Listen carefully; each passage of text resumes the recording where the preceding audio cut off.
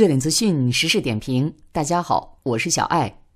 五月二十八日，国产大客机 C 九幺九终于迎来了首个商业航班，从上海虹桥直飞北京首都机场，而且还真是领导先坐。国家民航局局长、中国商飞董事长、东航总经理、工信部部长、C 九幺九总设计师、大飞机专项组组长和原中航工业总经理均全程体验了国产大客机。不过，从五月二十九日开始，C 九幺九就不飞北京了，而是改为执行上海虹桥往返成都天府的空中快线航班。目前显示的信息是一直到六月三十日，每天上午八点十分到十一点二十分从上海飞成都，然后在当天十二点三十分到十五点二十五分又从成都返回上海。为何 C 九幺九首个常态化运营的航线是沪蓉而不是京沪呢？其实原因很简单，首先京沪客流量本来就大，显然用宽体客机直飞更赚钱，比如 A 三三零、A 三五零或者波音七七七等。选择飞上海至成都天府，主要是这条航线的航距比较合适，三小时左右的航程不至于行距太短。二是东西飞，从飞行的性能来说，对环境的适应性会比较好，包括温度、湿度等方面。此外，东航在这条航线上的资源保障能力总体也不错。成都是商飞的基地之一，并且有最多的 ARJ 二幺，而商飞最大的分公司就在成都，这两地有最专业的技术人员，对于保障 C 九幺九首轮常态化运营更为有利。由此，我们至少可以看出两点：首先，C 九幺九是真正的市场化运行，除了具有标志性的首个商业航班飞北京之外，其他的都放在更为适合的航线上，赚钱才是最主要的。赚钱了，C 九幺九才更有生命力。C 九幺九虽然是国家重点工程，但从一开始我们就贯彻了市场化的运营原则，从国外采购零部件就是如此。很多人认为 C 九幺九之所以大量采用国外的零部件，是因为我们造不了。实际上并非如此。我们的部分国产零部件虽然性能可能暂时还不如国外的产品，但如果真要用也是可以的。毕竟我们连大得多的运二零都造出来了。但我们考虑的是更加的性价比，以及相比空客和波音飞机的优势。比如省油性能、舒适性和维护成本等等。有乘坐 C 九幺九的朋友反映，C 九幺九客舱内的噪音比国内使用的波音七三七和 A 三二零型号要小一些。总而言之，市场化运行才是一款客机的灵魂和成败的关键。其次，暂时不常飞京沪航线，说明 C 九幺九还是小了，毕竟只是一百六十八座级的单通道窄体干线客机。等到我们的 CR 九二九出来，就可以首先在京沪航线上投入运营了。它和 A 三三零、A 三五零或者波音七七七一样，都是宽体双通道客机，基本型就有二百八十个座位，更适合国内热门的航线和国际航线。由于目前东航只有一架 C 九幺九，为了保障安全、保障运行顺畅、保障质量，先选一条航线飞是比较合适的。目前第二架 C 九幺九量产机正在试飞中，接下来会有更多的航线会使用国产大客机，比如沪蓉、沪深等。不过，我们的思维可以再开拓一下。比如以乌鲁木齐或喀什为集散中心，将它们打造成迪拜多哈那样的枢纽式机场，用 C 九幺九和加长版去辐射中亚和中东地区，甚至是欧洲地区，依托窄机体和低成本，会找到更广阔的舞台和市场。目前，乌鲁木齐航空已订购三十架 C 九幺九以及四十架 ARJ 二幺新支线飞机，这就是一个开始。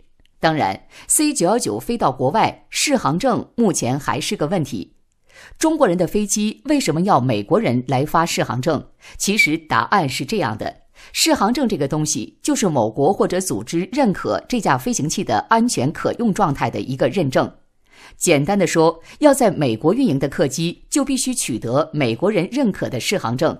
美国认可美国联邦航空管理局的 FAA 证书，要在欧洲运营，就必须取得欧洲认可的适航证，欧洲认可欧洲航空安全局的 EASA 证书。要对飞行器进行适航认证，是一项非常艰巨且繁琐的工作。一架航空器从认证到结束，怎么也得几年，所以很多小国根本就无法承担这样的专业以及冗长的流程。因此，他们选择直接使用 FAA 或者 EASA。当然，也有认可我们 CAAC 认证的。全球认可 FAA 是最多的，绝大部分国家都认可 FAA。第二的就是 EASA，这个也相当多。也就是说，一个国家的飞行器如果通过了 FAA 认证，那么它基本可以在认可该适航证的所有国家运营。EASA 也一样。C919 通过了 CAAC 的认证，但认可 CAAC 的国家主要是亚非拉等第三世界的国家，所以 C919 可以在国内以及这些国家运营，但却不能运营认可 FAA 的日本航线，更不可能卖给日本。二零一七年十月二十三日，中国民航局在其官方网站上发布消息称，中美适航实施程序已经签署，并于十月十七日正式生效。该协议根据《中华人民共和国政府与美利坚合众国政府促进航空安全协定》制定，实现了两国民用航空产品的全面对等互认。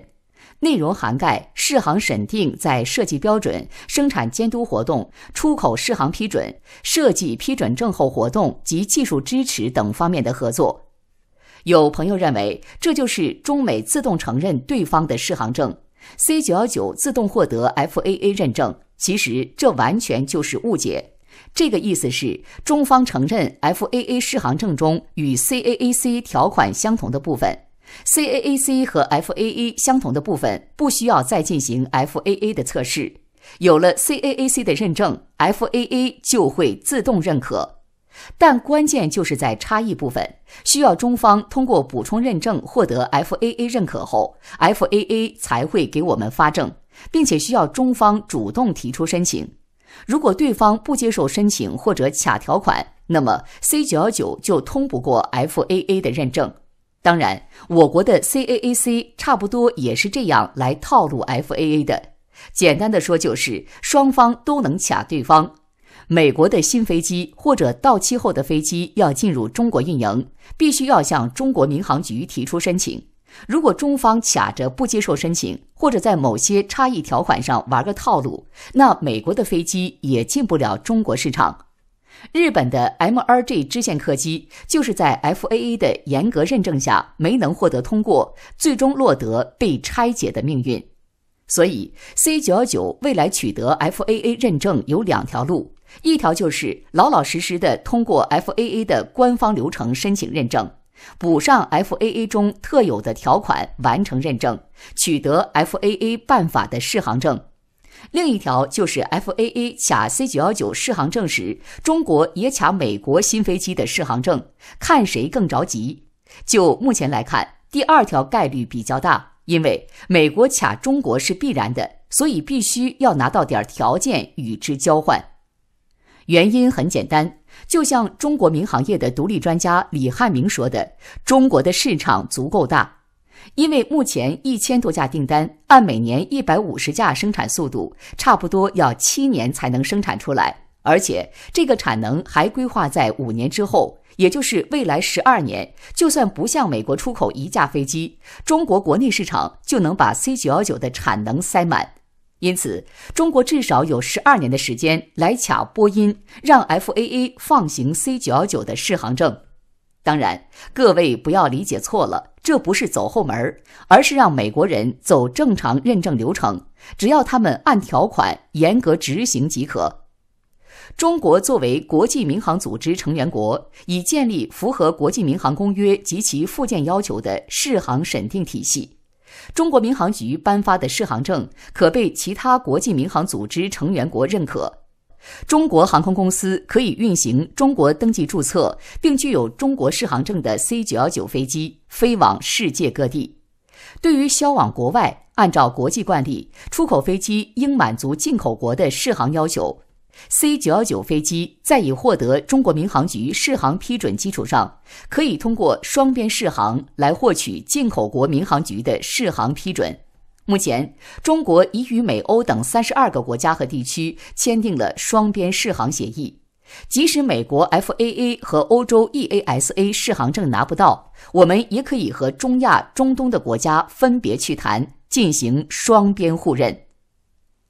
本期节目就到这里，感谢大家收看。如果你有一些独到的见解，欢迎在下方给我们留言。祝大家工作生活愉快，我们下次再会。